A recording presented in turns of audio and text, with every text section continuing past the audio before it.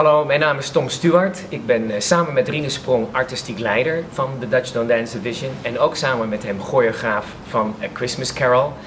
Al doe ik meer grote groepen en alle danspasjes voor de kinderen, omdat uh, Rines zelf Scrooge speelt, oftewel Frederik Verreen. A Christmas Carol van Charles Dickens is natuurlijk echt een kerstklassieker. Als verhaal, als boek, niet als ballet zoals de Notenkraker dat is, maar componist Carl Davis heeft jaren geleden avondvullende verhalende balletmuziek geschreven voor Northern Ballet in, in Engeland. En die de DVD daarvan heb ik al jaren in huis. En ik dacht altijd dat zou interessant zijn om uh, een eigen versie van A Christmas Carol te maken. Waar het niet dat Rinus dat helemaal niet zag zitten. Heel spannend natuurlijk zo'n creatie in drie maanden. Uh, de reprise van de kerstproductie is altijd een stuk makkelijker. Dan kan je helemaal plannen welke scènes in welke weken.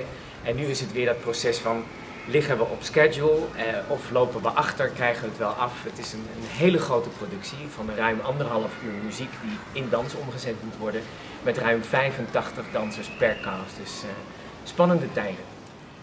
Muziek is natuurlijk echt iets anders als dans. Met de dansers ben ik al uh, vanaf 1 oktober bezig en met mijn eigen dansers zelfs al veel langer. Het orkest komt er natuurlijk echt pas voor ons in de laatste week bij. Theaterkoor Dario Fo repeteert nu wel sinds november in de weekenden met ons mee, omdat ze ook echt op het toneel een actieve rol hebben.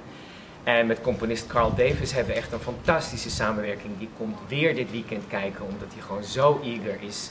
En we zijn nu uh, met plannen bezig voor 2022 om echt uh, een nieuwe première uh, te schrijven samen. Dus oftewel, hij gaat voor ons nieuwe muziek componeren. Dus dat is voor iemand van 83 best uh, heel bijzonder, zoveel levenslust en toekomstvisie. Ik ben uh, Carl Davis op het spoor gekomen in een cd-winkel in Amerika. Ik was in New York en ik vond een cd met Alice in Wonderland, de ballet, Tchaikovsky. En ik dacht, Tchaikovsky heeft Notenkraker, Zwaan en meer Sleeping Beauty geschreven, maar geen Alice in Wonderland. Dat bleek dus allemaal uh, werk van Carl Davis te zijn, die al die Tchaikovskys bewerkt had tot Alice in uh, Wonderland. In 2016 heb ik toen uh, onze eigen Alice in Winter Wonderland gemaakt. En Carl Davis, die voor heel veel balletcompanies heeft gewerkt. In Birmingham, in Leeds, overal. En, en zelfs in, in, in Amerika, in Bratislava, Slovenië, overal. Uh, die zei dat dit de best experience ever was voor hem. Dus uh, hij was heel eager om een nieuw stuk te doen. En toen Carl Davis en ik gingen praten over wat er allemaal mogelijk is met A Christmas Carol, toen was ook binnen de kortste keren Ines om, om hebben we dat plan aangenomen.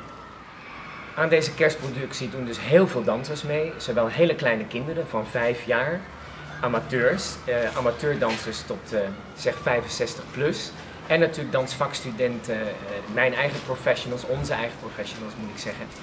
En daar is een heel uh, repetitieproces voor. Dat we werken in subgroepjes door de week. Woensdagmiddag met de ene groep, woensdagavond met de andere groep, noem maar op. En in het weekend voegen we dan alle grote groepscènes samen.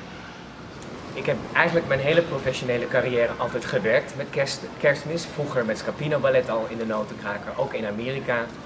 En ja, mijn favoriete kerst is toch echt de première op eerste kerstdag van de ene cast en de première op tweede kerstdag van de andere cast. En het samen vieren in de foyer daarna, dat is echt uh, genieten. Voor de rol van Tiny Tim, bij ons heet hij Kleine Kees, uh, hebben we twee jongens gevonden door het tv-programma The Big Audition. Eentje had al met ons gedanst, de ander kenden we helemaal niet, maar die bleken wonderbaarlijk mooi uh, te kunnen zingen. Dat was echt een verrassing. En daar kwamen we ook kinderen tegen die niet zo goed kunnen zingen, maar wel waanzinnig kunnen dansen. En uh, één daarvan danst nu de rol van Scrooge als hij tien jaar oud is. Zo'n grote kerstproductie als deze kan natuurlijk niet door het land reizen. Maar het goede is dat er heel veel dansers en heel veel publiek van buiten Den Haag komt. 60% komt van buiten Den Haag van het publiek. Uh, maar wij willen wel de boer op. En uh, Intermusica uit Londen is onze Alice in Winter Wonderland op het spoor gekomen. En die is op dit moment bezig met de verkoop in Azië. Singapore, Hongkong en Taiwan. Dus uh, wie weet gaat een van onze Haagse kerstproducties samen met het residentieorkest wel internationaal.